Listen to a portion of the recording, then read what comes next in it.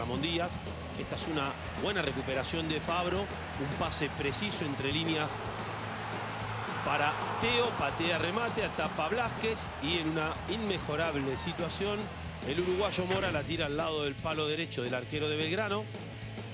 Mala salida por el sector izquierdo de River, la agarra el picante Pereira, un lindo centro al punto de penal, aparición a espacio vacío del número 8, Pitinari, se desprendió el volante de contención y la pelota se fue arriba de Barovero. El buena ejecución en el tiro libre otra vez, ahora de Fabro, bien por Blasquez que aguanta en su propio palo y evita la apertura del marcador del exjugador de Cerro Porteño. Y otra vez recibe espalda de los volantes de contención, tiene pasa derecha, tiene pasa izquierda, opta por rematar.